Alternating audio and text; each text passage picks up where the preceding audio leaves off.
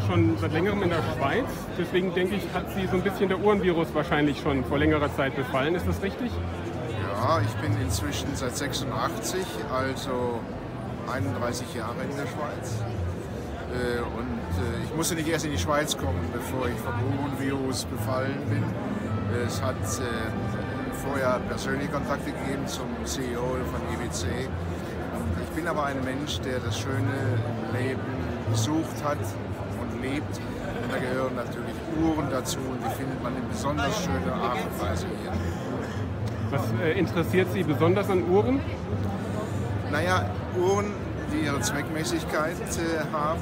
Ich bin ein extrem pünktlicher Mensch, ich bin sehr zuverlässig. Und da gehört eine gut gehende Uhr dazu. Wenn sie zudem noch schön ist, dann ist das für mich äh, das Nonplusultra und das finde ich auch hier bei Ibiza.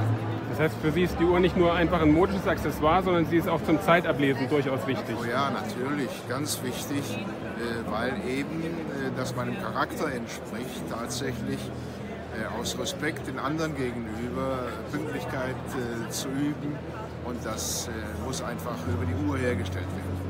Sie haben bestimmt auch schon mal eine Uhrenmanufaktur besichtigt in der Schweiz? Äh, nein, äh, habe ich nur äh, Dokus gesehen, was da hergestellt wird. Ich nehme mir das immer wieder vor, weil ich finde das derartig faszinierend. Das sind Künstler, diese Menschen.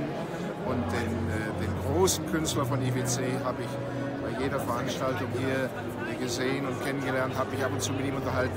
Das ist etwas, was noch fehlt bei mir. Das will ich unbedingt machen, weil ich bewundere Menschen, die nur annähernd so viel können wie die Uhr. Und haben Sie auch vor, die Messe hier zu besuchen? Ja, wir werden äh, natürlich im Rahmen unserer Zeit werden wir äh, über die Messe gehen. Das haben wir heute schon getan. Äh, einen Rundgang gemacht, einen kleineren Rundgang. Morgen wird es wahrscheinlich noch die Möglichkeit geben, das auszuweiten. Gibt es besondere Funktionen, die für Sie wichtig sind bei einer Uhr? Chronograph zum Beispiel oder eine Taucher oder sowas? Nein, ich bin kein Taucher. Äh, das sind Dinge, äh, die ich nicht nutzen äh, muss, die ich nutzen kann.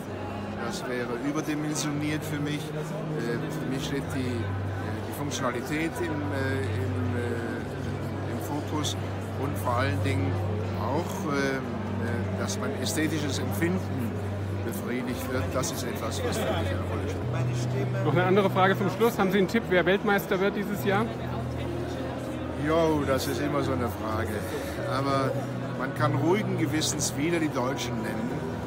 Die haben in den letzten Jahren so viel großartige Arbeit geleistet. Sie haben, äh, was ich auch am Anfang meiner Tätigkeit äh, im Fernsehen bemängelt habe, dass der Kader nicht groß genug ist. Inzwischen haben sie zwei funktionsfähige Mannschaften, die man ohne Bedenken äh, aufstellen kann. Und sie gehören immer noch zu den Favoriten. Also die muss man ganz an erster Stelle schon nennen, die Deutschen. Vielen Dank, Herr Netzer. Schönen Abend.